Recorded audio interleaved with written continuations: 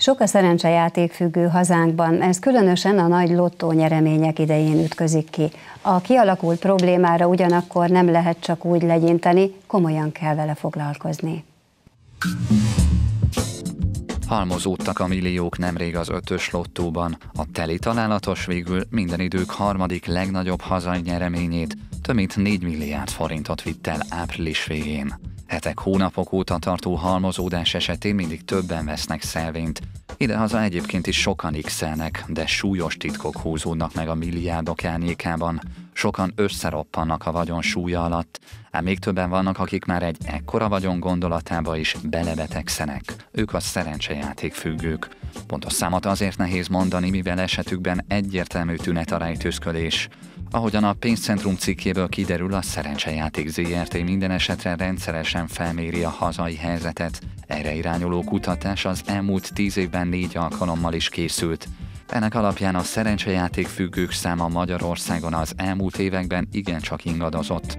2009-ben 1,2 2012-ben 2,6, 2015-ben 1,3, 2018-ban pedig 4,3 volt. Az adatok szerint a függők leginkább 30-49 éves férfiak alapfokú végzettséggel és leginkább községekben laknak rossz anyagi körülmények között. Ugyanakkor a magasabb társadalmi rétegeket is komolyan érinti a probléma, ahogyan a nőket is. Inkább talán a rejtőzködés módja, illetve a probléma folytán kialakult nehézségek mértékében láthatunk különbséget. Azt hihetnénk, hogy a leggazdagabbak költik el a legtöbbet szerencsejátékra, ez azonban nem feltétlenül van így. 50-100 forintos tételekkel is hihetetlen összegek folyhatnak ki a játékosok kezei közül, sőt rendkívül megtévesztőek az ilyen kisebb összeggel folyó játékok.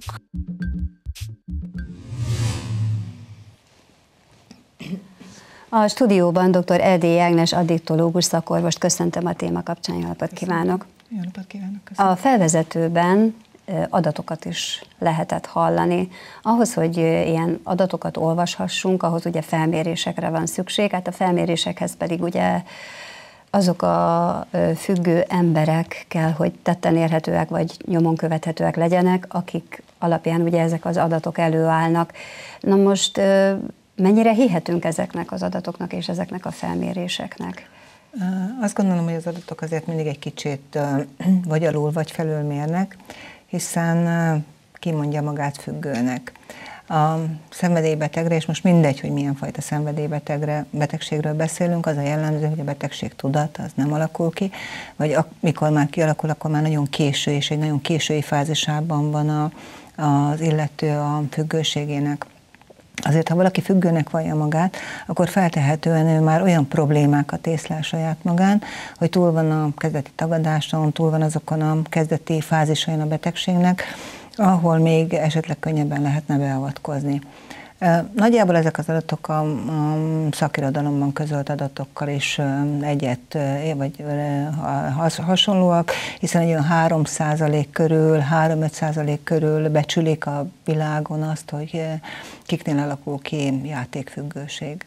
Azt meg tudjuk mondani, hogy honnantól egy rutin az életünkben, hogy mondjuk hetente veszünk egy lottót, vagy feladunk egy lottószelvényt, ugye ezt így szoktuk mondani, vagy rossz szokásunká válik, vagy mondjuk már e, túllép egy olyan határon, ami mondjuk nem csak a pénztárcára káros, hanem mondjuk úgy egy család e, háztartási költségvetését tekintve is. Igen, a határ meghúzása mindig nagyon nehéz, hiszen azt, hogy játszani szeretünk, hogy bizakodunk abban, hogy a szerencse egyszer mellénk áll, és egy nagy nyereményt az ölünkbe potyant fortuna, ez még nem kóros. Ez az emberi természet, ez azt gondolom, hogy így sok mindenbe beletartozik.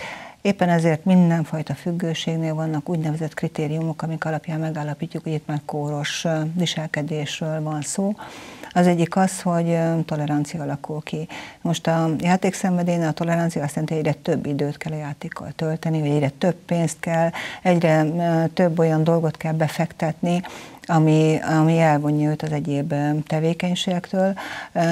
Hozzátartozik az, hogy kórosságról beszélünk, hogyha már az egyén egészsége, szociális kapcsolatai károsodnak, hogyha már megjelennek olyan fajta nehézségek a mindennapok életében, amik gyakorlatilag kivonják őt a mindennapi normális tevékenységből. Ha már esetleg ő is érzi, hogy baj van, vagy a környezete jelzései alapján érzi, hogy baj van, és megpróbál leszokni, megpróbál változtatni, de ez nem sikerül. És be tud számolni arról, hogy igen, próbáltam, de ez kudarcos volt, rövid ideig bírtam, és aztán vissza, akkor ezek már azért erősen felvetik azt a gyanút, hogy itt már kóros függőségről van szó. A játékszenvedélynél többnyire a család, akkor szokott észbe kapni, vagy akkor látja meg, hogy valami baj van, amikor kiderül egy véletlenül olvasott bankszámla kivonatból, vagy valamiből, hogy nagyon súlyos adósságok halmozódnak föl, és akkor kezdenek utána, hogy hová tűntek azok a pénzek, amiről nem tud számot adni a családtag. Mit lehet ugye ilyenkor csinálni? Tehát, hogyha még egy ilyen felfedezett váratlan helyzetben sem került még szakemberekhez az illető, aki mondjuk okozta ezeket a problémákat saját maga és az őt körülvevő emberek számára. Kihez kell fordulni? Hát az első lépés, hogy Ez nem egy napi kell. rutin, hogy nem. tudjuk, hogy milyen irányba induljunk. Nem egy napi rutin, és pontosan azért, mert hogy ugye a, a függőségre jellemző az, hogy mindig megpróbálja károkat valamilyen módon uh, kijavítani. Ráadásul játékszenvedélyre nagyon jellemző az, hogy a, a, most veszítek, de majd kérek kölcsön, és azt befektetem, és visszanyerem, és akkor mindjárt kisimítom az egészet, és ez a folyamatos reménykedés, és utána a csalódás az, ami így fenntartja ezt, a, ezt az oszcillációt, illetve fenntartja azt a fajta motivációt, vagy azt a fajta késztetést egy idő után már nem is örömet okoz, csak hogy valahogy a károkat megpróbálja enyhíteni. És éppen azért nem is vallják be a családnak azt, hogy már milyen bajban vannak, hogy esetleg több százezer vagy több milliós adósságot felhalmoztak, akár tényleg ilyen egyszerű dologgal, hogy tipmix, vagy lottó, vagy valamilyen teljesen hétköznapi legális játékkal, játékkal kapcsolatban. És amikor kiderül és lebukik, még akkor is nagyon sokáig sokan tagadásban vannak, és még a család előtt is próbálják egy kicsit szépíteni a dolgokat, de a legeslegelső lépés az, hogy próbáljanak meg őszinték lenni, legalább a családtól szemben, mert akkor a családok meg tudják találni azokat a e, szakambulanciákat, itt most elsősorban addiktológiai ellátó helyekre gondolok, ahol szakemberek, pszichológus és orvos és segítő szakember tud segíteni abban, hogy milyen lépéseket kell megtenni ahhoz, hogy a függőségétől megszabaduljon, vagy enyhítse azokat a károkat, amik kialakultak a személyiségében, az egészségében, a környezetében, a kapcsolatában a függőség ideje alatt. Biztosan mindenki hallott már ö, olyanokról a környezetében, hogy azt beszélik, hogy XY abból él, tehát mondjuk az ön által említett tipmix például, tehát hogy a, a mindennapoknak olyan szinten a részévé válnak ugye ezek a kalkulációk, ezek az ügyeskedések, tehát vannak ilyen emberek.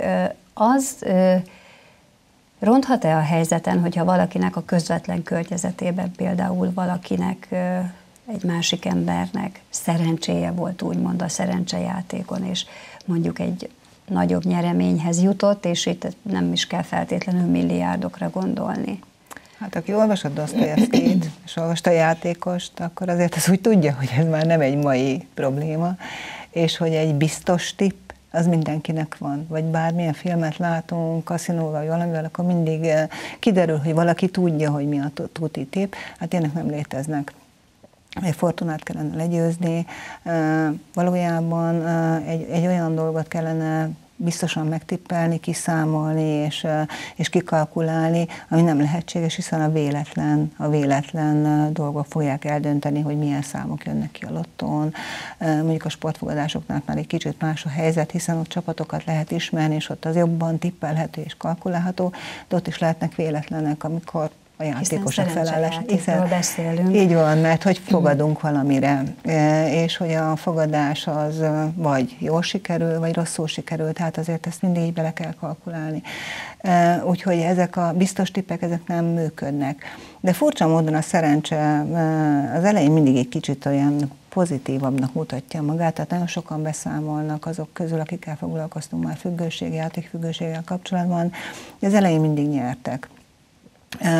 De én meg azt gondolom, és azért sok mindenkivel már azt is, azt is szembesítettük, hogy ez egy csalóka érzés, mert a kezdeti nyereményeket úgy éli meg, mintha mindig nyernék, és miközben a kezdeti veszteségek úgy elsüllyednek az emlékezésnek a sülyeztőjében, és aztán ez a hiszen mindig nyertem az elején, és pozitív volt a mérleg, akkor ez a fajta hit, ez a fajta álhit viszi tovább arra, hogy majd egyszer mégiscsak jön a nagy nyeremény.